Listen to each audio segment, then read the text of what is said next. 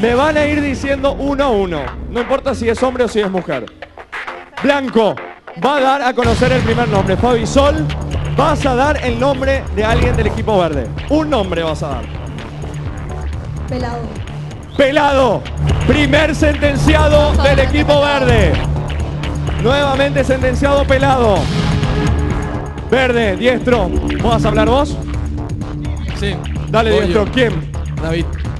David, sentenciado del equipo blanco, se pone al lado de pelado. Estás viendo ya a dos sentenciados. Blanco, Fabisol, te escuchamos. Belén. Belén, está sentenciada Belén, primera mujer que termina en sentencia. No lo puede creer Belén, no lo acepta. ¿eh? Vamos ahora a diestro. Sole. Sole, sentenciada por el equipo verde, mujer del equipo blanco. Ustedes del verde ya sentenciaron a los dos que podían sentenciar. Eligieron por David y eligieron por Sole. El blanco ya mandó a sentencia a Pelado y a Belén. Pero como ganó un juego más, ganaron tres juegos, tiene la oportunidad de sentenciar a uno más del verde. ¿Quién? Juanjo.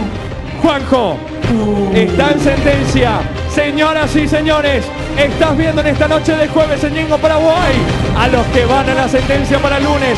Uno de ellos sale del programa el lunes. El orden es así. Tenemos a dos del equipo blanco, Sole y David. Están en sentencia. Ya piden votos al 1331. Sole al 1331, David al 1331. Del equipo verde, está en sentencia. Pelado, pelado al 1331. También Belén, Belén al 1331. Y Juanjo, Juanjo al 1331.